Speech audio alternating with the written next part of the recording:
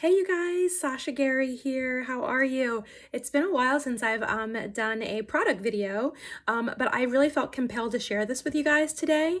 Um, so I get a keratin treatment done to my hair. I have for years. Um, my last keratin treatment was about four months ago. Um, I also had some highlights put in.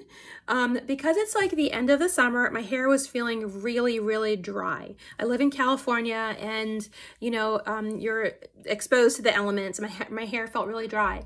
I was trying everything. I did coconut oil, which is my go-to. I had a leave-in conditioner that I was using that I wasn't thrilled with.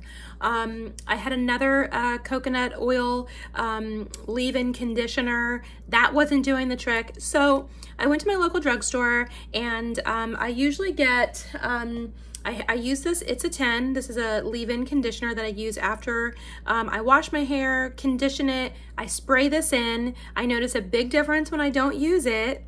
Um, by accident, I bought this thinking it was that, and I left this in my hair, and this is a rinse out, which was really funny.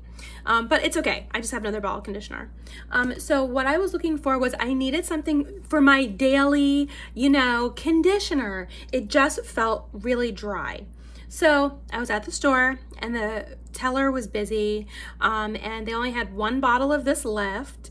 And while she was um, taking care of another customer, I decided to look it up on Amazon and see if they had it. And they did. And even though I had a coupon for the store, you guys, this was $9 cheaper on Amazon. So I bought it. I had it delivered today. And so what I wanted to share with you is I put this in my hair today and I wish I took a before photo because the difference between before and after and the way that my hair feels and looks is completely different. Um, I love this company. It's a 10. Uh, it, it is like, it has keratin um, in it. I use their keratin um, products. Uh, it's really great for me to maintain uh, the keratin, keratin conditioner I already have in there. Um, but I highly recommend this daily um, leave-in conditioner. Um, even if you don't have a keratin done in your hair, keratin is great um, hair product for all hair types. Um, so yeah, it's like a mousse. It's really good. So um, yeah, I just want to share that with you guys. I hope this helps.